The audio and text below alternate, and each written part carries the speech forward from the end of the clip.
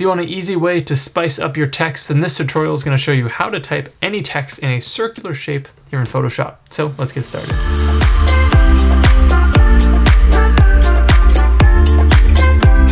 What's happening guys? My name is Brendan from BWillCreative.com and on this channel we love to talk about photo editing, Photoshop and all that good stuff. So if that sounds like something that you'd be into, make sure to hit that subscribe button so you never miss a video. Now today we're going to talk about how to spice things up and type things in a circular shape in Photoshop. Now there are a few different ways that you can create this effect, but it all revolves around two different tools. The first tool is the text tool, obviously, and the second tool is the shape tool and particularly the ellipse shape tool. So this is what we'll be using to create our circular shape and our circular paths. In our first example, I'm going to use a bunch of different shapes to create a sort of emblem thing around a logo. The second example, we're just going to use a regular path to just type text in a circular shape with no extra shapes around it. And then in the third example, I'm going to show you how you can create your own paths to customize the angle and the curvature of your text. So with all that said, let's hop into Photoshop and see how it's done. So to start things off, I want to draw a series of outline circles around my logo here. So to do that, I'll grab my shape tool and particularly grab the ellipse tool. Once you have that selected, since I want to create an outline, I want to leave the fill set to transparent, which is represented by this white box with the red line. And then I'm going to go and set my stroke to whatever color I want the outline to be. In this case, I'll just leave it to white. Double checking that my stroke option is set to a solid stroke. I'm going to click and drag out to create that circle and I'm going to hold the shift key to ensure it's a perfect circle. I'll drag that out to be the right size that I want and I'll hold the spacebar to reposition the whole thing as one. So now that's somewhere in the right vicinity right there and I'll let go to create my shape. Now just to make sure that everything is centered, I'm gonna hold Command or Control A to highlight my entire canvas, grab my Move tool by pressing V, and then I'm going to center horizontally and center vertically. And now that circle is perfectly aligned to the middle of my canvas. That's going to help us with our text later on. So looking at this circle here, you can see that we have our transform box, but then within the circle, we have a thin line and that represents the path. So whenever you see a path like this, you can use it as a baseline to work your text around. Grabbing my text tool and pressing P, or you can find it here in the toolbar, you'll notice how if I have my cursor away from the circle, it's just the text icon with a square box around it. If I go to the inside of the circle, it has has a circle around it. But if I go and hover right over the line, it has this sort of wavy icon. So when you see that wavy icon, that's when you want to click, and that means that you'll be able to write on that path. So with my path selected, I can type what I want. I'll just write Photoshop tutorials and commit to my text with the check mark. So since we have selected that circular path to write on, our text is going to stick against that line or against that path. From here, you can edit your text just as before. You can highlight it and change all of your settings up here, or you can use your character panel. But the more important thing that you'll probably want to work on is the alignment of your text. So the one thing that's going to make a big difference here is the actual alignment of your text, whether it's aligned to left, center, or the right. In this case, I'm going to align my text to the left and that's going to change how everything is positioned, but that's not to worry because we can move it again after. With our text aligned to the left, I'm going to create a grid around my canvas to know exactly where the center is vertically and horizontally. So to do that, all we have to do is go here to view and down here to new guide layout. We'll add in two for the columns and two for the rows. Make sure your gutter is set to zero and click OK.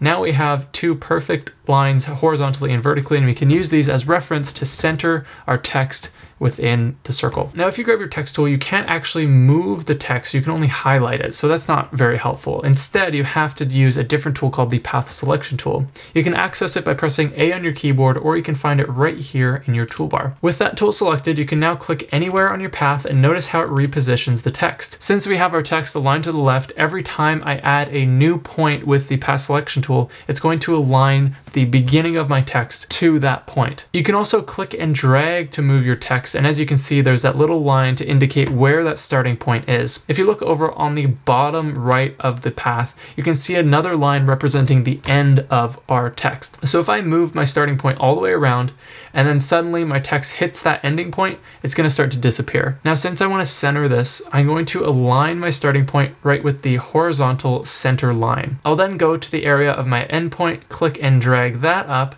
and now that's going to change where the end of my text will be. So now at this point we have both our starting and ending position aligned to the center of our canvas. So that means that we can now just center our text and it's going to automatically center it on our circle. Now to do that, we'll just once again grab our text tool by pressing T, select our text, and we will click the center text icon, and that's going to move everything over for us. And since we have our starting position indicated here by the X and our ending position indicated here by the circle, our text is going to center itself between those two points. And in this case, that centers it perfectly at the top of the circle. Now you might have wanted to do this with the move tool and just rotated it, but I find this method to be a lot more precise with positioning where your text sits along your path. Now that we have our text nice and centered, we don't need this grid anymore. So let's get rid of that by going up to view and down here to clear guides. That's gonna hide all of those guides for us in one go. Now, since we have a circle outline, that means that the path is sitting in the center of that outline, which means our text is sitting halfway inside that outline and halfway outside that outline. I want all the text to sit outside of it. So to do that, we just have to adjust the baseline in our characters panel. So clicking on our characters panel here, if you don't see this, you can go up here to window and down here to character to open this panel. And then we'll go down to our baseline shift option and we'll click and drag that up to change the value. And notice how our text lifts off of our path. It's still following the same angle, but it's just separating itself from the path. So bringing it up to about three there looks perfect and it's now sitting just on the outside of the outline. So now our upper text is positioned, everything looks super good, and now I want to add some text down here on the bottom. I want to add the website in. So rather than going through all of this again, we've pretty much done all the work with our first text layer here.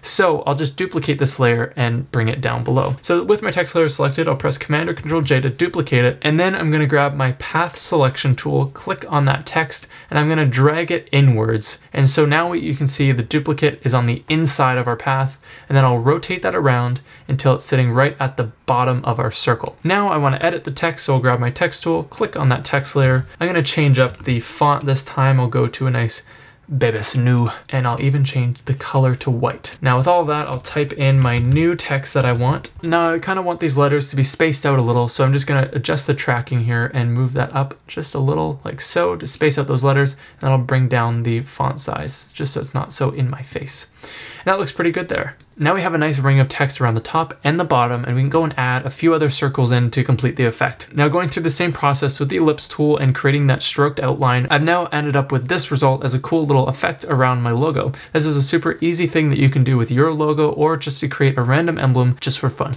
Now in this example, we use the path of a shape layer to base our text around, but what if you don't want any visible shape? You don't want any of these circles, you just want your text to be curved and that's it. Well, luckily you can do that using the same tools, but there's a slightly different method. So here's how to do it. Starting fresh here, we're gonna once again grab our ellipse tool here, but this time we're gonna go up to our settings and change the option from shape to path. Now we won't have any shape options, we won't have any of that color stuff. We're just gonna have that path to type our text around. So now clicking and dragging out to create that path, Again, holding shift to create a perfect circle and the space bar to move your path as one. I'm going to position this somewhere in my canvas here like so. And now rather than having that outline, we have just the path that we use to curve our text. Now following the same steps as before, I'll grab my text tool by pressing T and we're gonna hover over that path until we see that wavy line. We'll click on there and now we can add our text. Now just like any other text layer, you can still edit your text as normal. You can still change the font and all that kind of stuff. But in this case, it looks as is because it's copying the same font as I was using before. So if I wanted this text to sit right against the line, I could go and bring down that baseline shift once again. It's gonna bring that in like so. Now to move this text around your shape, you can once again grab your path selection tool by pressing A and you can go and hover over your text here and click where you want to reposition it. Since my text is aligned to center, it's going to adjust the center point of that text. So as I move this, you can see how the middle indicator there lines up with the center of my text. So this is really easy if you want to just align it straight to the top or you want it align to one side or another. In this case, I'll once again just align it straight to the top here, and I'll go ahead and rescale the size of my text. Now if you want to shift your text from the outside of your path to the inside, all you have to do is grab your path selection tool, click on that text, and drag it inside of your circle. Now it's going to switch sides of your path and it will show up on the inside of the path rather than the outside, just by moving your cursor to the inward side of the path. And just like that, you've now created circular text with no extra shapes using the same tool as before, but this time as a path rather than a shape. So now for the final example, let's talk about how you can customize these paths to create just about any shape of text that you want. Starting fresh, once again, one of the best tools to create paths with is in fact the pen tool. Now I've talked all about the pen tool in other tutorials, and if you want to learn more about it, then hit the link in the description below. But for this example, we're just going to use the pen tool to create a curved path for our text. So pressing P on our keyboard to grab our pen tool, I'm going to click and add some anchor points and drag out to curve that path into a wavy shape like so. Now, just like before, we can grab our text tool and this time hover right over that pen path and notice how our icon goes once again to that squiggly line. We'll click there and we can type whatever we want. And this time it's gonna follow that pen path so you can customize exactly what shape you want your text to form. It's really as simple as that and paths are your absolute best friend when you wanna curve any type of text in Photoshop.